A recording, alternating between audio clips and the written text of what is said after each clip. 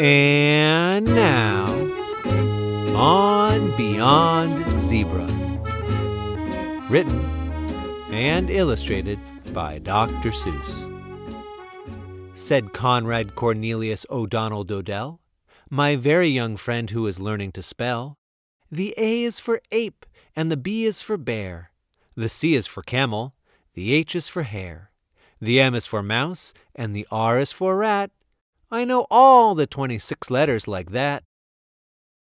Through to Z is for zebra. I know them all well, said Conrad Cornelius O'Donald O'Dell. So now I know everything anyone knows, from beginning to end, from the start to the close, because Z is as far as the alphabet goes. Then he almost fell flat on his face on the floor when I picked up the chalk and drew one letter more. A letter he never had dreamed of before. And I said, You can stop if you want with the Z, because most people stop with the Z, but not me. In the places I go, there are things that I see that I never could spell if I stopped with the Z. I'm telling you this because you're one of my friends. My alphabet starts where your alphabet ends. My alphabet starts with this letter called Yuzz. It's the letter I use to spell Yuzz-a-ma-Tuzz. You'll be sort of surprised what there is to be found once you go beyond Z and start poking around. So on beyond zebra. Explore like Columbus. Discover new letters like Wum is for Wumbus, my high spouting whale who lives high on a hill and who never comes down till it's time to refill. So on beyond zebra, it's high time you were shown that you really don't know all there is to be known. Then just step a step further past Wum is for Wumbus, and there you'll find Um, and the Um is for Umbus. A sort of a cow, with one head and one tail. But to milk this great cow, you'll need more than one pail. She has 98 faucets that give milk quite nicely. Perhaps 99. I forgot just precisely. And boy, she is something most people don't see because most people stop at the Z, but not me. I ramble, I scramble through swamp and through swamp, where the letters get better, like letters like humph. There's really a handy letter. What's handy about it? You just can't spell Humpf-Humpf-a-Dumpfer without it. If you stay home with zebra, you're stuck in a rut. But on beyond zebra, you're anything but. Why, I know a fine fancy letter called fuddle. I use it in spelling Miss Fuddle de Duddle. And oh, what a bird of a bird of a bird of! Her tail is the longest that's ever been heard of. So long and so fancy, she'd be in a fix. If she didn't have helpers, it takes about six. To tag along hoisting Miss Fuddle de Duddle's wonderful tail out of muddledy puddles. And Glikk is for Glikker, who lives in wild weeds and spends his time juggling fresh cinnamon seeds, which he's usually able to find in great number, excepting, of course, in the month of September, when cinnamon seeds aren't around in great number, so that month he juggles with seeds of cucumber.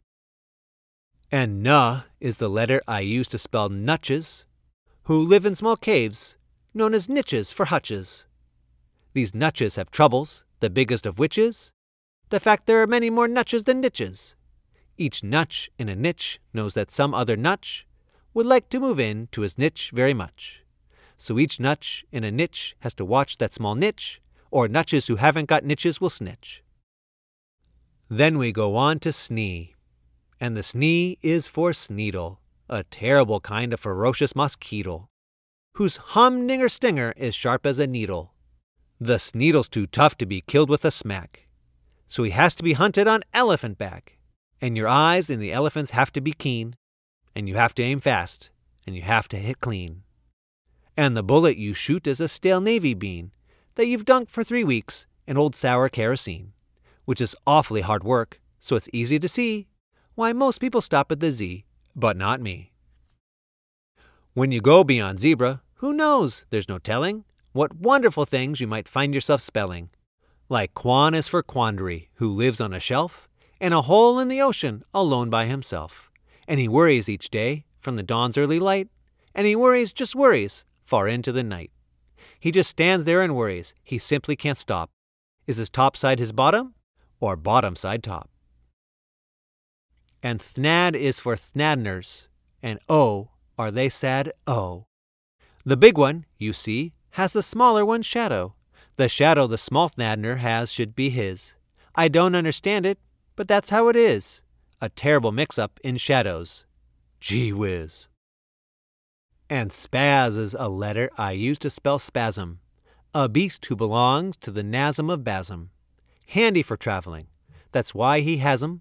More easy to pack than a suitcase or grip. Those horns carry all that he needs on a trip.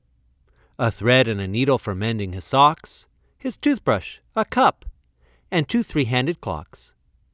And his velvet umbrella, his vegetable chopper, and also his gold-plated popping corn popper and a grasshopper cage for his favorite grasshopper. And floob is for Floob-Boober-Bab-Boober-Bubs, who bounce in the water like blueberry tubs. They're no good to eat, you can't cook 'em like steaks, but they're handy in crossing small oceans and lakes. And Zatz is the letter I use to spell Zatz-it, whose nose is so high that most nobody pats it. And patting his lonely old nose is the least that a fellow could do for this fine friendly beast. So, to get there and do it, I built an invention the three seater Zatz-it nose padding extension. If you tried to drive one, you'll certainly see why most people stop at the Z, but not me. And jog is my letter for spelling Jogg-oons, who doodle around in the far desert dunes. Just doodle around, crooning very sad tunes about peppermint peanuts, and pebbles and prunes, and paint pots and polka dots, pinheads and pigs, and their grandmother's grandfather's stepsister's wigs. So you see, there's no end to the things you might know, depending how far beyond zebra you go. I have a letter called Flun, and the Flun is for Flunnel, a softish nice fellow who hides in a tunnel. He only comes out of his hole, I'm afraid, when the right kind of softish nice music is played. On a kind of a hunting horde called the Ogrunth, and to learn how to play, it takes month after month of practicing, practicing. It isn't much funneth. And besides, it's quite heavy, weighs almost a tonneth. That's why few people bother to play the old grunneth. So the flunnel's been out of his tunnel just oneth. And way, way past Z is a letter called itch. And the itch is for Itch-a-Pods, animals which race around back and forth, forth and back through the air, on a very high sidewalk between here and there. They're afraid to say there. They're afraid to say here. They think there is too far. They think here is too near. And since here is too near, and out there is too far, they're too scared to roost wheresoever they are. There's a letter called Yek, and the Yek is for Yekko, who howls in an underground grotto in Gekko. These Yekkos love echoes, and this is their motto For the best Yekko echoes, try Gekko, our grotto. Oh, the things you can find if you don't stay behind. On a world near the sun lives two brothers called Vrooms, who, strangely enough, are built sort of like brooms.